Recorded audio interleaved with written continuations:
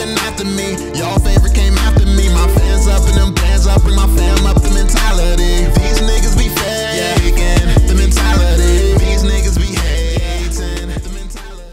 Alright y'all, so we are back with another Mobile Legends video, man, and I actually got a question. There was a question about farming, getting fed, and stuff like that, and how you're supposed to do it, like, for each role, because a lot of people know how you're supposed to do it with, like, assassins and stuff. They're supposed to be jungling a lot and all of that, but it's more difficult when you're a support player, so I'm gonna be telling you how to get fed fast when it comes to using any hero whatsoever, and the proper way to get fed fast, because there is a right way to do it and a wrong way to do it.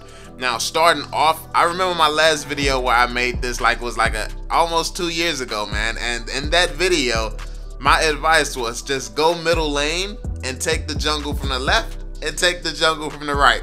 And while that will 100% get you fed fast and probably faster than anyone else, that will put your team far, far behind because you will be the only one fed. So if you're not good enough to just take out every single person on their team, especially if you're a late game hero, if you're a marksman doing that, basically your team is just going to be super weak. So while the other team's assassins are getting strong early game, you're getting strong early game, and then not even really early game is going to have to wait until late game, honestly, still. So your your team's is going to be sitting ducks if you do that. Um, so that's why that's not a good thing to be teaching. Um, like I said, it is a way to get fed fast. If you really want to get fed fast, like if you're in the lower elos, I, I'd say that's fine. Like if you're between the ranks of like, let me see, like like warrior all the way up until like maybe grandmaster is fine. Like, like that's that's literally how you go fast. But a lot of times in those ranks, people don't even understand laning, so you probably won't have the middle lane to yourself too. And keep in mind, if someone is in the lane with you, when someone is with you in a lane and you all are farming together, you're going to be sharing the gold that you get with each other. So you all are going to get less gold than if you were by yourself. So if you see two people or three people fighting over mid lane, it might be worth it just to go to a completely different lane and do your own thing. But um, anyway, when it comes down to who should be in the mid lane, you want to probably pick a mage, a mage or an assassin. Um, usually it's a mage, and the reason that a mage works well mid lane is because mage is one of the most powerful heroes early game.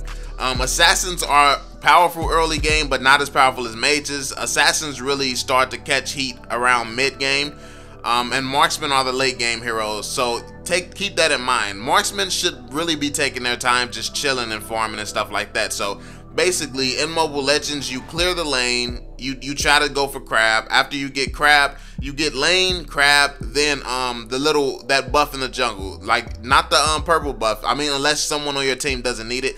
Usually the assassins or the mages need the buffs, so the buffs should go towards those people who are early game heroes. There's no point for a marksman to have that buff. Yes, it will get you fed faster, but if the if the assassin has that buff, he's better equipped to kill somebody right now with it. You, on the other hand, you would just be using the buff for gold, and the assassin could be using the buff to change the game completely, to, to be killing people and put you in a better position to win later. So an assassin or a mage getting that buff is a lot more meaningful than a um, ADC early game because the ADC just cannot do enough damage to make that valuable. Um, so yeah, and, and when it comes down to playing a tank, because usually it's a tank with the ADC. When it comes down to playing a tank, how do you get fed if you don't if you're not the one who's getting last hits or killing or anything like that? Basically, you just support the you support the marksman. Like I said, if you're in a lane with someone, you're going to be sharing that gold. So the marksman is going to be killing everything. Even if the marksman actually gets a kill, you should be getting an assist off that, and you should be getting gold from that. Then when you push the tower and take the tower, you get some gold from that. Then when you get crab, you get gold from that. So basically, anytime the marksman gets gold, you're going to be getting gold. And I saw a lot of people talking about getting fed, uh, like your tank can't get fed and stuff like that. A tank's job is not to get fed. A tank's job is to get slapped in the face. Like you're, like literally, it's only important that your teammates get fed.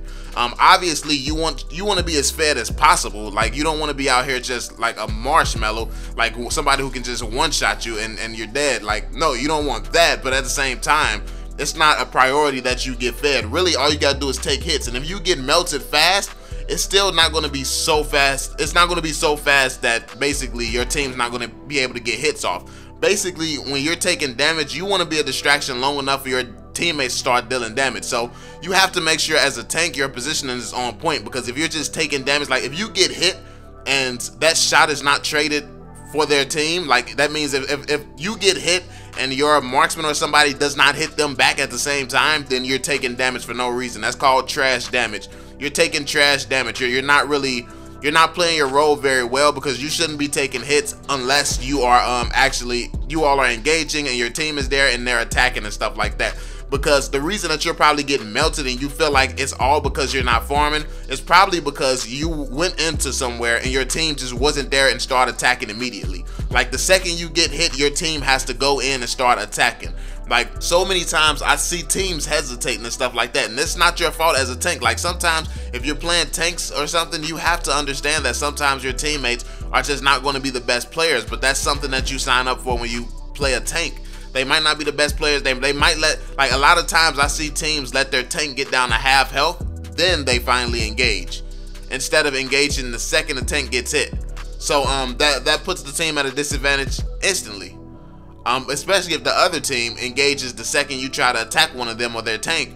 So um yeah, it's really just about getting fed, stand next to the ADC, stand by the ADC, and engaging at the right times. Trying to avoid, trying to avoid fights. If you have a marksman character, you should be trying to avoid fights anyway. You shouldn't be trying to fight anybody if you have a marksman because marksmen are late game heroes.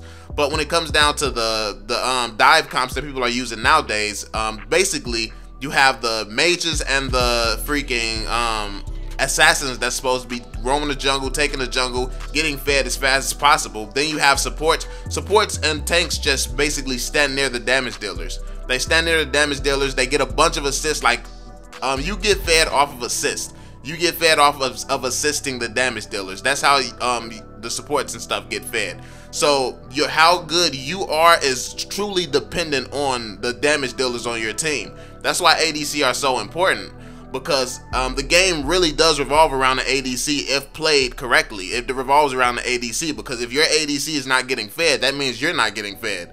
Um, which means that the other team is going to have a huge advantage because one, your team's not going to have damage, and two, they're not going to have a tank either. You're, you're going to be you're going to be pretty easy for the other team to melt. Like, because if the marksman have has a bad game, you're probably going to have a bad game as well. But that's why in Mobile Legends, you kind of got to have different rules, and you got to say like, if the marksman doesn't look like it's a really good player whatsoever, you go and support the person who is the most likely to be able to carry your game to a victory. So if you're a tank and your marksman just keeps overextending, just keeps not working together or something like that, if you have like a Cyclops on your team and the Cyclops is really, really good, the Cyclops is um, positioning correctly and and getting fed, farming, doing all the things he needs to do, you do everything you can to pr protect that Cyclops and make sure that he doesn't die.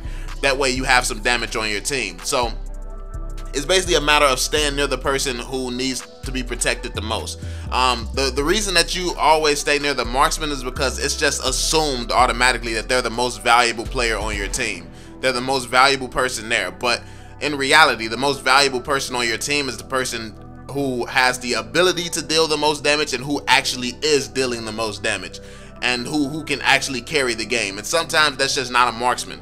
Like a lot of people just don't know how to use marksman at that level just yet. So um, it's usually it might be someone else on your team. So look out for that if you're a support. That might be part of the problem to why you're not getting fed either. If you're a support or a tank, you're probably not getting fed because of who you're laning with. So you have to be careful of that and make sure you lane with the person who is actually putting in the work on your team. Another tip I have for you is finding a pattern. So if you're an assassin, find a route to take. Make sure you invade the other team's jungle when possible, but make sure it's safe as well. Make sure you have some sort of idea where everyone is because you don't want to walk into an ambush or walk into the whole team or something. Make sure you, you have a good idea where everyone is on the map. Go invade the other team's side. Make sure you have like a route that you take. Um, you probably want to go um, try to gank the marksman side because assassins and mages, you all are going to get fed easily by um, killing people as well.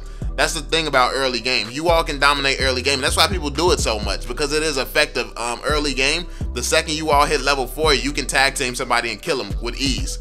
So um, that's what you want to do when you have a um when you have an assassin or a mage. You want to roam around. You want to try to take the other team's jungle because if you take the other team's jungle, not only will that get your team ahead, it's going to put the other team behind. So they they're less fed than they would be if you didn't take their jungle. Um, and also when you kill them, all that time they have to wait to respawn, then walk all the way back to their lane.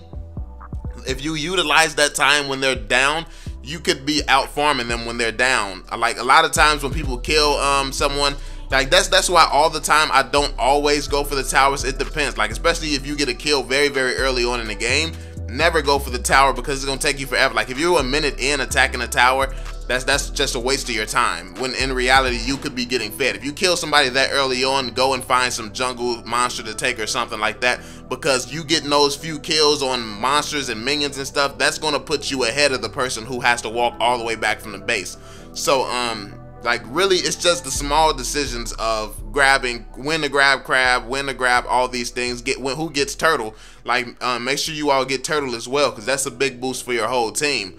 And honestly, that's pretty much it, man. It really just comes down to the supports just stick by the damage dealers, and the damage dealer does the roaming and stuff. And um, the, the damage dealer really does all the killing and everything. So you get fed off of support. Like support heroes, it's not too crucial that they um, get to a high level, a super high level. Like when it comes down to Angela, Angela is effective the second she get her ultimate. Estes, Estes is effective the second he gets his ultimate, he can use it.